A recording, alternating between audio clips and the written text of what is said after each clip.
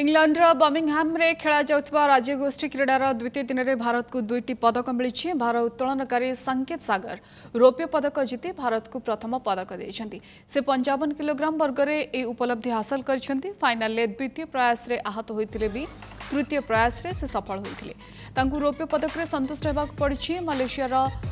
ଅନେକ ଶହେ ବୟାଳିଶ କିଲୋଗ୍ରାମ ଉଠାଇ ସ୍ୱର୍ଣ୍ଣ ପଦକ ନିଜ ନାଁରେ ହାସଲ କରିଛନ୍ତି ଏପଟେ ଏକଷଠି କିଲୋଗ୍ରାମ ବର୍ଗରେ ગુરુરાજ પૂજારી બ્રોન્ઝ મેડલ હાથ ଦେଇଛନ୍ତି